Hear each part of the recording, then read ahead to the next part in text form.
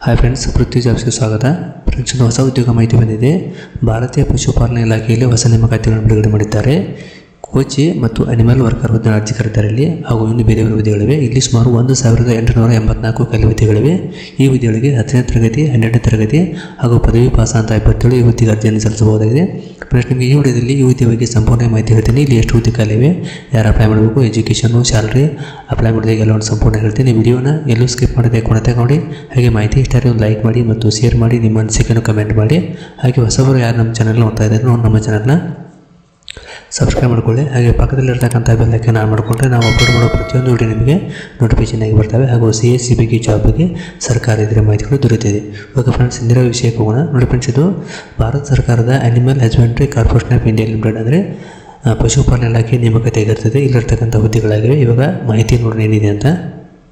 ನೋಡಿ ಫ್ರೆಂಡ್ಸ್ ಮಾಹಿತಿ ಕೊಟ್ಟಿದ್ದಾರೆ. ಹುದ್ದೆಯವರು ಕೊಟ್ಟಿದ್ದಾರೆ. ಭಾರತೀಯ ಪಶುಪಾಲನಾ ನಿಗಮ ಲಿಮಿಟೆಡ್ ನೇಮಕತೆ ಅಂತ ಕೊಟ್ಟಿದ್ದಾರೆ. ಅಂದರೆ ಬಿ ಪಿ ಎನ್ ಎಲ್ ನೇಮಕತೆ ಆಗಿರುತ್ತದೆ ಸಂಸ್ಥೆ ಹೆಸರು ಬಂದ್ಬಿಟ್ಟು ಭಾರತೀಯ ಪಶುಪಾಲನಾ ನಿಗಮ ಆಗಿರುತ್ತದೆ.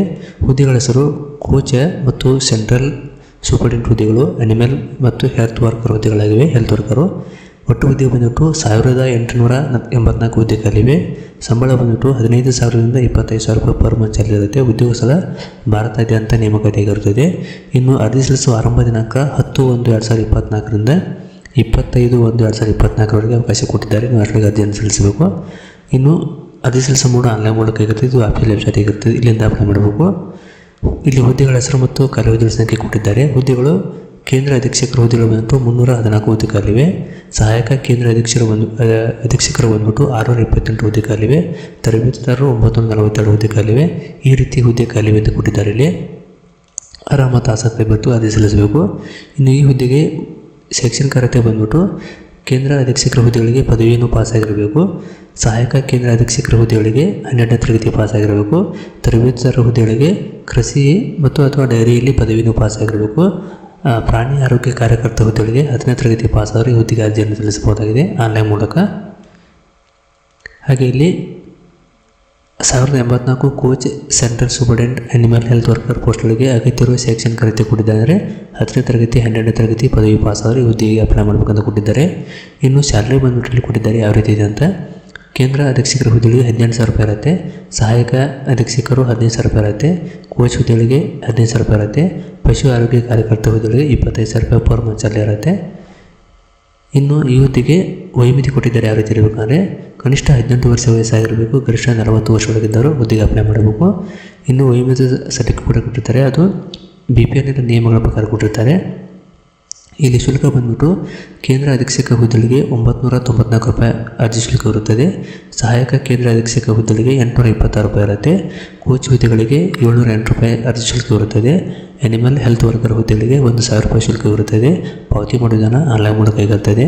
ಹೆಚ್ಚಿನ ಮಾಹಿತಿಯನ್ನು ನೋಟಿಸ್ ಮಾಡ್ಕೋಬೋದು ಇನ್ನು ಈ ಹುದ್ದೆಗೆ ಆಯ್ಕೆ ಪ್ರಕ್ರಿಯೆ ಯಾರು ಯಾವ ರೀತಿ ಇರೋದರಲ್ಲಿ ಮೊದಲನೇದಾಗಿ ಲಿಖಿತ ಪರೀಕ್ಷೆ ಇರ್ತವೆ. ಆಮೇಲೆ ಸಂದರ್ಶನ ಮೂಲಕ ಆಯ್ಕೆ ಮಾಡ್ತೀವಿ ಅಂತ ಕೊಟ್ಟಿದ್ದಾರೆ. ಇನ್ನು ಪ್ರಮುಖ ದಿನಾಂಕ ಕೊಟ್ಟಿದ್ದಾರೆ. ಅರ್ಜಿ ಸಲ್ಲಿಸಲು ಆರಂಭ ದಿನಾಂಕ ಹತ್ತು ಒಂದು ಎರಡು ಸಾವಿರದ ಇಪ್ಪತ್ನಾಲ್ಕರಿಂದ ಆರಂಭವಾಗಿ ಇಪ್ಪತ್ತೈದು ಒಂದು ಎರಡು ಸಾವಿರದ ಇಪ್ಪತ್ನಾಲ್ಕಕ್ಕೆ ಕ್ಲೋಸ್ ಆಗುತ್ತೆ. ಅಷ್ಟೊಂದು ಅರ್ಜಿಯನ್ನು ಆನ್ಲೈನ್ ಮೂಲಕ ಸಲ್ಲಿಸಬಹುದು. ನೋಡಿ ಫ್ರೆಂಡ್ಸ್ ಇದು ಅಪ್ಲೈ ಮಾಡೋ ಲಿಂಕ್ ಆಗಿದೆ. ಆನ್ಲೈನ್ ಮೂಲಕ ಇಲ್ಲಿ animal husbandry corporation of India limited ಕೊಟ್ಟಿದ್ದಾರೆ. ಇದು ಅರ್ಜಿ ಅರ್ಜಿ ಸಲ್ಲಿಸ್ತಕ್ಕಂಥ ಫಾರ್ಮ್ ಆಗಿದೆ. ಇಲ್ಲಿ ಮೊದಲಿಗೆ ನೀವು ಉದ್ಯೋಗದ ಪ್ರಕಾರ ಕೊಟ್ಟಿದ್ದಾರೆ ಅಂದರೆ ಯಾವ ಪೋಸ್ಟ್ ಅಪ್ಲೈ ಮಾಡ್ತೀರಾ ಕೊಟ್ಟಿದ್ದಾರೆ ಉದ್ಯೋಗ ಆಯ್ಕೆ ಮಾಡಿಕೊಟ್ಟಿದ್ದರಲ್ಲಿ ಪ್ರಾಣಿ ಆರೋಗ್ಯ ಕಾರ್ಯಕರ್ತ ಎ ಎಚ್ ಡಬ್ಲ್ಯೂ ಕೊಡ್ತಾರೆ ಕೇಂದ್ರ ಸೂಪರಿಂಟ್ ಹುದ್ದೆಗಳು, ಸಹಾಯಕ ಕೇಂದ್ರ ಅಧೀಕ್ಷಕರು ತರಬೇತುದಾರ ನೀವು ಯಾವತ್ತಿಗೆ ಅಪ್ಲೈ ಮಾಡ್ತೀರಾ? ಆ ರೀತಿಯಲ್ಲಿ ಮುಂದೆ ಅದು ಶುಲ್ಕ ಬರುತ್ತೆ. ಆಟೋಮೆಟಿಕ್ಕಾಗಿ ನೋಡಿ ಸಾವಿರ ರೂಪಾಯಿ ಬರುತ್ತೆ. ಈ ಅಪ್ಲೈ ಮಾಡಿದರೆ. ಆಮೇಲೆ ಕೇಂದ್ರ ಅಟೆಂಡ್ ಸೂಪರಿಂಟ್ ಹುದ್ದೆಗಳು ಮಾಡಿದರೆ ಒಂಬತ್ತು ನೂರ ನಲವತ್ನಾಲ್ಕು ಬರುತ್ತೆ. ಪದವಿ ಪಾಸ್ ಆಗಿರ್ಬೇಕಂತ. ಆಮೇಲೆ ಸಹಾಯಕ ಕೇಂದ್ರ ಅಧೀಕ್ಷಕರ ಹುದ್ದೆಗಳಿಗೆ ಎಂಟುನೂರ ಇಪ್ಪತ್ತಾರು ಬರುತ್ತೆ. ಹನ್ನೆರಡನೇ ತರಗತಿ ಪಾಸ್ ಆಗಿರಬೇಕು. ತರಬೇತಾರ ಹುದ್ದೆಗಳಿಗೆ ಏಳ್ನೂರ ಎಂಟು ರೂಪಾಯಿ ಶುಲ್ಕ ಇರುತ್ತದೆ. ಪದವಿ ಪಾಸ್ ಈ ರೀತಿ ಬರುತ್ತೆ. ನೀವು ಯಾವ್ದು ರೀತಿ ಅಪ್ಲೈ ಮಾಡ್ತೀರೋ ಅದರ ಮೇಲೆ ಡಿಪೆಂಡ್ ಆಗಿ ಅದೇ ರೀತಿ ನೋಡ್ಕೊಂಡು ಅಪ್ಲೈ ಮಾಡಬೇಕು. ಇಲ್ಲಿ ಎಷ್ಟು ಬರುತ್ತೆ? ಎರಡು ಬರುತ್ತೆ. ಹೆಸರು ಹಾಕಬೇಕಾಗುತ್ತೆ ನಿಮ್ಮ ಹೆಸರು ಮೊಬೈಲ್ ನಂಬರು ಆಮೇಲೆ ತಂದೆ ಅಥವಾ ಗಂಡನ ಹೆಸರು ಮೊಬೈಲ್ ನಂಬರು ಹುಟ್ಟಿದ ದಿನ ಇಮೇಲ್ ಐ ಡಿ ವಿಳಾಸ, ರಾಜ್ಯ. ಇಲ್ಲಿ ನಿಮ್ಮದು ಯಾವ ರಾಜ್ಯ ಬರುತ್ತೆ? ಕರ್ನಾಟಕ ಬರುತ್ತೆ. ಒಂದು ನಿಮಿಷ. ಇಲ್ಲಿ ಕರ್ನಾಟಕ ಇದೆ. ಆಮೇಲೆ ಜಿಲ್ಲೆ ಯಾವ ಜಿಲ್ಲೆ ಬರುತ್ತೆ? ಯಾವ ಜಿಲ್ಲೆನ ಆಯ್ಕೆ ಮಾಡ್ಕೊಳ್ಳಿ. ಆಮೇಲೆ ತಾಲೂಕು ಯಾವುದು ಬರುತ್ತೆ? ಆ ತಾಲೂಕನ್ನು ಆಯ್ಕೆ ಮಾಡ್ಕೊಳ್ಳಿ. ಆಮೇಲೆ ನಿಮ್ಮ ಪಂಚಾಯಿತಿ ಯಾವುದು ಬರುತ್ತೆ, ಇಲ್ಲಿ ನೀವು ನಿಮ್ಗೆ ಯಾವ ಪಂಚಾಯಿತಿ ಬರುತ್ತೆ ಅದನ್ನು ನೋಡ್ಕೊಂಡು ಪಂಚಾಯಿತಿ ಆಯ್ಕೆ ಮಾಡಿ ಅರ್ಜಿಯನ್ನು ಸಲ್ಲಿಸಬೇಕಾಗುತ್ತೆ. ಈ ರೀತಿ ಬರುತ್ತೆ. ಆಮೇಲೆ ಪಿನ್ ಕೋಡ್ ಹಾಕಿ ನಿಮ್ಮ ಗ್ರಾಮದ್ದು. ಇಲ್ಲಿ ಒಂದು ಫೋಟೋ, ಒಂದು ಸೈನ್ ಸ್ಕ್ಯಾನ್ ಮಾಡೋಕ್ಕಾಗುತ್ತೆ ಆಮೇಲೆ ಇಲ್ಲಿ ಕೆಳಗಡೆ ಡಿಕ್ಲೇಷನ್ ಕ್ಲಿಕ್ ಮಾಡಿದಾಗ ಇಲ್ಲಿ ಖಾಲಿ ಹುದ್ದೆ ಮತ್ತು ನಿಯಮ ಕೂಡ ಕ್ಲಿಕ್ ಮಾಡ್ಕೋಬೇಕಾಗುತ್ತೆ. ಮುಂದೆ ಅಂತ ನೆಕ್ಸ್ಟ್ ಪೇಜ್ ಓಪನ್ ಆಗುತ್ತೆ. ಅಲ್ಲಿ ನೀವು ಅರ್ಜಿ ಈ ರೀತಿ ಅದು ಪಿ ಡಿ ಎಫ್ ಓಪನ್ ಆಗುತ್ತೆ. ಒಂದ್ಸರಿ ಸರಿಯಾಗಿ ನೋಡ್ಕೊಂಡು, ಪಿ ಡಿ ಎಫ್ ಓದ್ಕೊಂಡು ಹಿಂದಿಯಲ್ಲಿ ಇದೆ ಅದು ಸರಿಯಾಗಿ ಓದ್ಕೊಂಡು ಅರ್ಜಿಯನ್ನು ಸಲ್ಲಿಸ್ಬೋದು ಏಳು ಪೇಜ್ ಪಿ ಡಿ ಎಫ್ ಇದೆ. ನೋಡಿ ಈ ರೀತಿ ಪಿ ಡಿ ಎಫ್ ಓಪನ್ ಆಗ್ತಿದೆ ಇದನ್ನೆಲ್ಲ ಓದ್ಕೊಂಡು ಅರ್ಜೆಂಟ್ ಸಲ್ಲಿಸಬೇಕು, ಯಾವ ರೀತಿ ಅಪ್ಲೈ ಮಾಡೋದು ಕ್ಲಿಯರ್ ಕೊಟ್ಟಿದ್ದಾರೆ, ಓದ್ಕೊಂಡು ಅಪ್ಲೈ ಮಾಡಿ.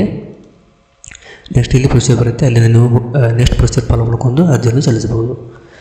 ಓಕೆ ಫ್ರೆಂಡ್ಸ್ ಈ ಪಿ ಡಿ ಎಫ್ ಅಪ್ಲೈ ಮಾಡೋ ಲಿಂಕನ್ನು ಮತ್ತು ಪಿ ಡಿ ಎಫ್ ಲಿಂಕನ್ನು ವಿಡಿಯೋ ಕಡೆ ಕೊಡ್ತೀನಿ ಒಂದ್ಸರಿ ಸರಿಯಾಗಿ ಅಲ್ಲಿ ನೋಡ್ಕೊಂಡು ಚೆಕ್ ಮಾಡ್ಕೊಂಡು ಅರ್ಜಿಯನ್ನು ಸಲ್ಲಿಸಬಹುದು. ತಮಗೆ ಈ ಮಾಹಿತಿ ಇಷ್ಟ ಆಗಿದೆ ಅನ್ಕೋತೀನಿ. ದಯವಿಟ್ಟು ಇಷ್ಟ ಆದರೆ ಒಂದು ಲೈಕ್ ಮಾಡಿ ಮತ್ತು ಶೇರ್ ಮಾಡಿ, ನಿಮ್ಮ ಅನಿಸಿಕೆ ಕಮೆಂಟ್ ಮಾಡಿ. ಫ್ರೆಂಡ್ಸ್ ವಿಡಿಯೋ ನೋಡೋದಕ್ಕೆ ತುಂಬ ಧನ್ಯವಾದಗಳು. ಥ್ಯಾಂಕ್ಸ್ ಫಾರ್ ವಾಚಿಂಗ್ ಜೈ ಹಿಂದ್, ಜೈ ಕರ್ನಾಟಕ.